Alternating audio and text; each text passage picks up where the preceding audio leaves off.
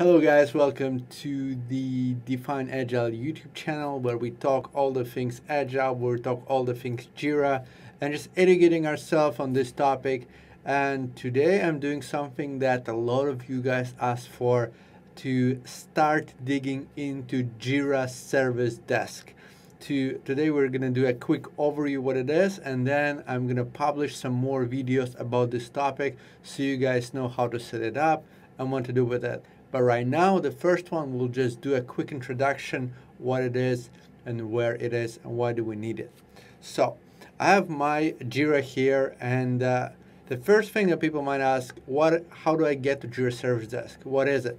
Jira Service Desk is a separate product for Atlassian that allows you to communicate with your external customers so they can submit their issues and you can work on them. Because usually Jira is pre-internal, it's for your teams, you invite people and then those people work on the projects. But what about if you have um, a support team and then you have a pro product or project that people can create support tickets to. So this is what Jira Support Desk is for.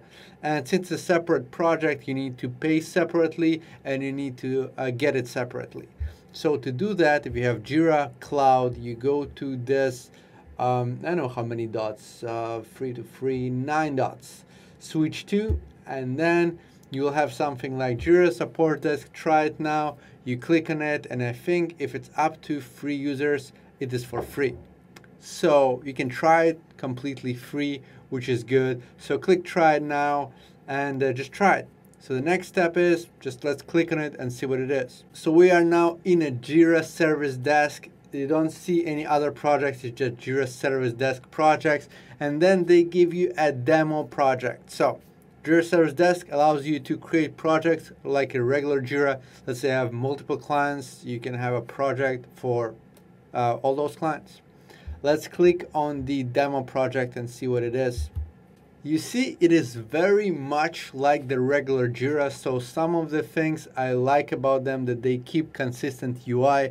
So for example, you have the main menu on the left and then you have everything you can act on on the right but the actual menu items are totally different.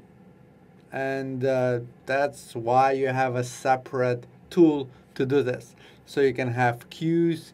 Um, queues will be where you can see everything that you need to work on. You have customers.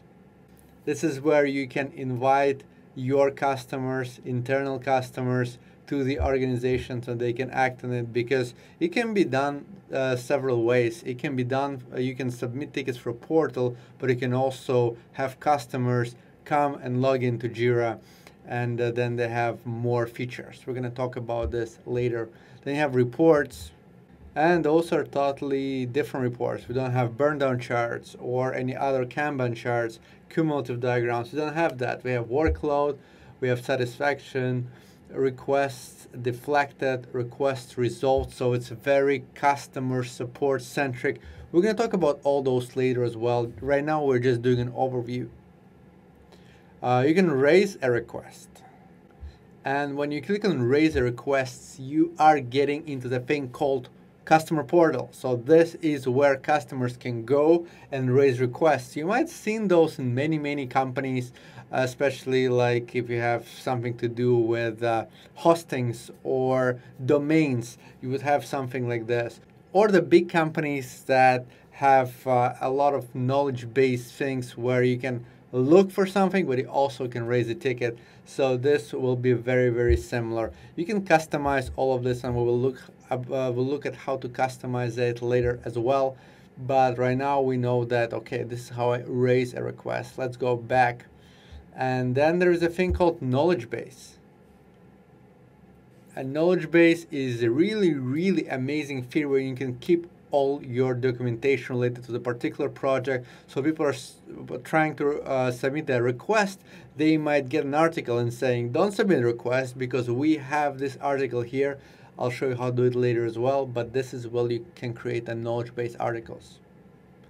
Then you have a channels and channel is how you can submit those things. You can do it via email, via help center, and help center is essentially this. Or you can do it via widget, which is turned off, and we're gonna look at those later as well.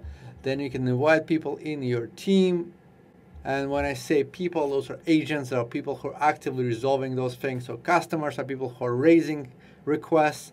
Uh, agents are people who are working on those requests. You can add shortcuts and go to project settings.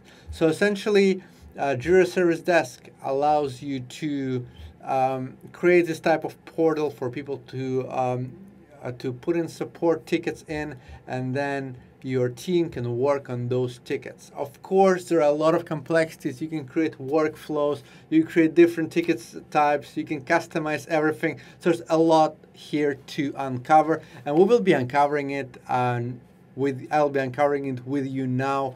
Uh, so uh, future videos will be related to this. Hopefully, it will be useful. If you have any particular things you want to know about Jira Service Desk, uh, please put them in the comments down below. This is how you can steer the conversation. If you ask me questions, I'll create videos about it um, and I'll prioritize them because this is important for you. So hopefully it helps. This was uh, the first Jira Service Desk video.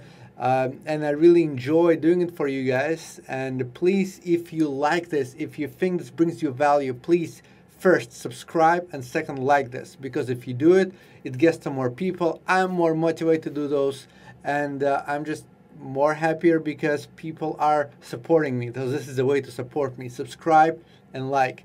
And uh, I hope you enjoyed it. And uh, I'll see you next one. Bye bye.